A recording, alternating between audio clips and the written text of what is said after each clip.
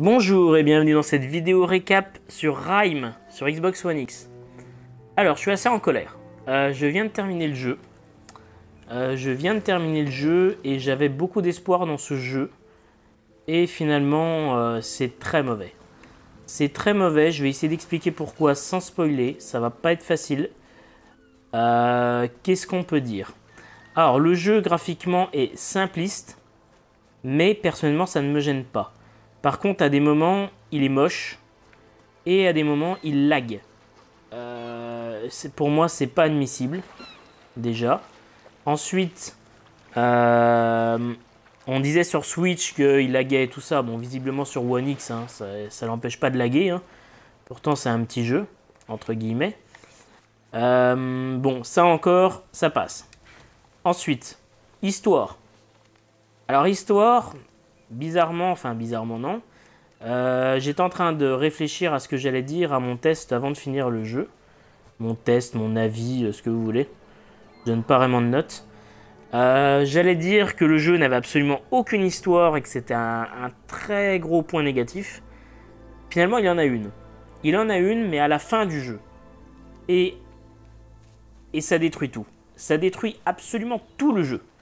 Tout le jeu. Je ne dirais pas pourquoi. Parce que j'ai pas envie de spoiler.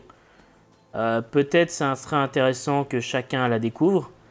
Euh, mais c'est vraiment très très mauvais. Euh, tout ce qu'on fait au cours du jeu, en fait, va être détruit par la fin. Voilà, je vais essayer de pas aller plus loin que ça. Parce que ça serait dommage de gâcher la surprise pour ceux qui veulent la voir. ceux qui veulent découvrir le jeu, etc. Mais c'est vraiment très très très très très mauvais. C'est vraiment une très grosse déception et c'est incompréhensible. C'est assez incompréhensible, euh, je piche pas ce qu'ils ont fait. Euh, au niveau aussi de, de, de, de, comment je peux dire ça? Des émotions. Des émotions du jeu où je pensais qu'il y en aurait, que le jeu, euh, vu qu'il n'y a pas de combat, il n'y a pas de barre de vie, il n'y a pas vraiment de danger, il n'y a pas tout ça, je pensais qu'il y aurait des émotions, euh, notamment avec le petit renard qui nous accompagne, euh, voire avec d'autres euh, personnages, entre guillemets. J'irai pas plus loin non plus là-dessus. Il n'y en a pas. Il n'y en a pas, il y a zéro émotion. ça va assez vite. Au niveau des cinématiques ou autres, ça va assez vite. Donc du coup, on n'a absolument pas le temps de s'émouvoir. le jeu non plus ne nous émue, ne nous émoit, ne nous émue, ne donne pas d'émotion, on va dire plutôt. Euh, au niveau justement par exemple du renard. Euh, le renard, qu'est-ce qu'il fait euh, On le voit courir, il nous, il nous crie dessus. Alors je sais pas si on peut dire il aboie, vu que c'est un renard. il nous crie dessus pour qu'on vienne, et c'est tout. Alors attention, voilà une partie de l'histoire du jeu.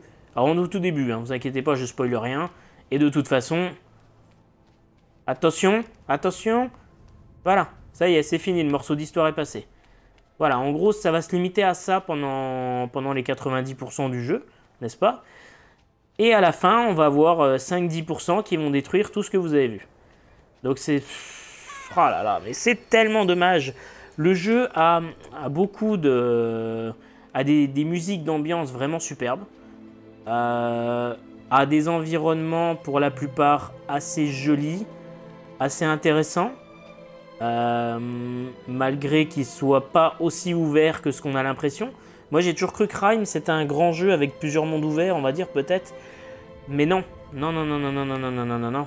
Vous avez le premier qui est assez ouvert, euh, modérément ouvert, on va dire. Et après, eh ben, eh ben après c'est fini. C'est fini, c'est plus ou moins des couloirs euh, du jeu classique où on va chercher notre chemin. On va chercher notre chemin à travers des énigmes. Alors, les énigmes, euh, mon Dieu, les énigmes, les énigmes. Il y en a des très bien et il y en a, des catastrophiques. Pour moi, il y en a des catastrophiques. Euh, alors là, on a trouvé un petit, un petit secret. Ça doit être un petit collectible là, mais alors. Euh, ça ne m'a pas du tout donné envie de chercher les collectibles, moi. Personnellement, j'en ai rien à secouer des collectibles dans ce jeu, mais un truc de fou. Euh, surtout que le jeu n'est pas très long, entre 5 et 8 heures. Pourquoi entre 5 et 8 Eh bien parce que ça dépendra de vous au niveau des énigmes. Il euh, y en a qui seront très simple. Alors, vous voyez, j'ai pas forcément expliqué. Là, on est dans une énigme. Voilà, le petit collectible magnifique. Voilà, c'est pour regrouper des emblèmes. Donc, il y a 5 mondes, je crois. Ouais, ça doit être ça. Hein. Et il faut retrouver les 4 dans chaque monde. Vous avez également des espèces de petites figurines qu'il faut retrouver. Euh, euh, je sais pas combien, il y en a 6 je crois euh, qu'on retrouve dans l'univers. Donc par exemple on a, on a ce, cette énigme là qui consiste à retrouver 4 statuettes, à les ramener sur leur piédestal ici en gueulant dessus, hein, parce que c'est comme ça en fait que le jeu fonctionne. C'est le gamin, quand il trouve une statuette, il gueule dessus et hop, elle s'active. C'est bizarre. C'est bizarre, je, ne sais pas quel est l'objectif là-dedans. Ah oui, je me rappelle. Voilà. Alors c'est pareil, euh, ces mécanismes de jeu sont, quasiment euh, uniquement dans le premier monde. Euh, une fois qu'on a passé le premier monde, c'est terminé. C'est terminé. Donc ce jeu, en fait, ce jeu n'a pas de fun. il n'atteint jamais le fun, le plaisir, l'émotion, euh, la beauté, si on peut dire, même si, euh, ouais, non, la beauté quand même, même si c'est, même si c'est pas ce qu'ils recherchent, euh, même si c'est pas ce qu'ils recherchent, voilà, c'est jamais très beau, c'est jamais très agréable, c'est jamais très fun, c'est,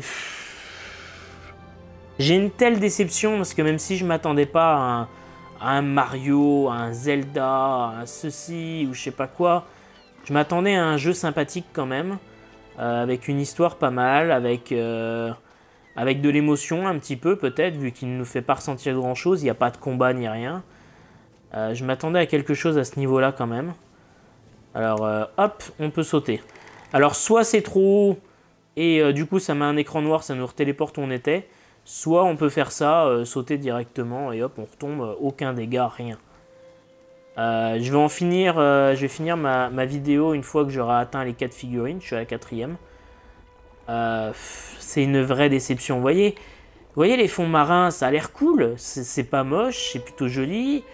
Ça peut amener à faire quelque chose de sympa. Ben non, c'est que du rush en fait presque. C'est d'aller d'un point A à un point B. Alors vous pouvez toujours prendre votre temps et chercher les collectibles. Mais ça s'arrête là ça s'arrête là. C'est... Il y a un gros gâchis de fait sur le jeu. Il y a un gros gâchis de fait. Euh, et alors je parle même pas de la fin. Hein.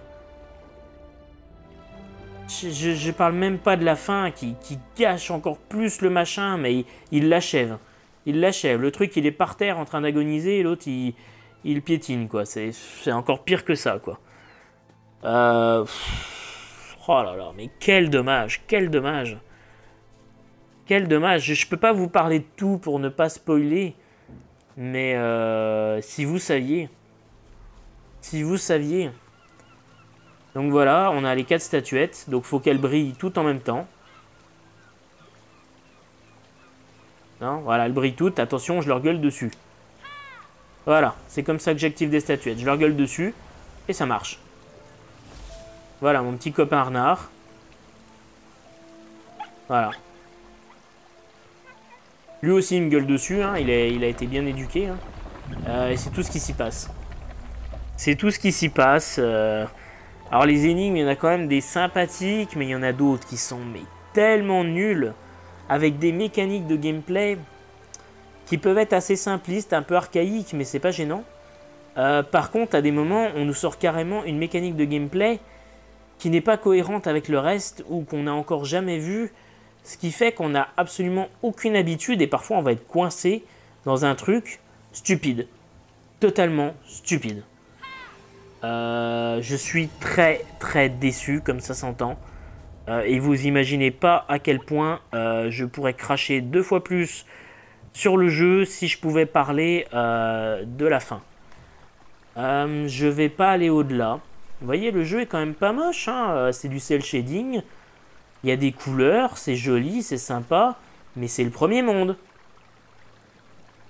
Après, ça change tout.